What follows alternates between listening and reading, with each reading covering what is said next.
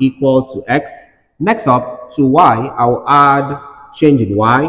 Also to x, I'll add change in x. My next task is to move y over here. So I'll have change in y is equal to x plus change in x minus y. So y comes over here becomes minus y. Your next task is to replace the value of y here.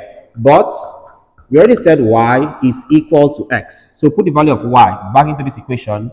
I will have change in y is equal to x plus change in x minus y.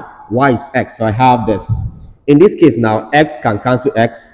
So I have change in y is equal to change in x. To get the value of my dual over the x, I'll have that differentiate this or divide by change in x, divide here by change in x, I'll now have that change in y over change in x is equal to this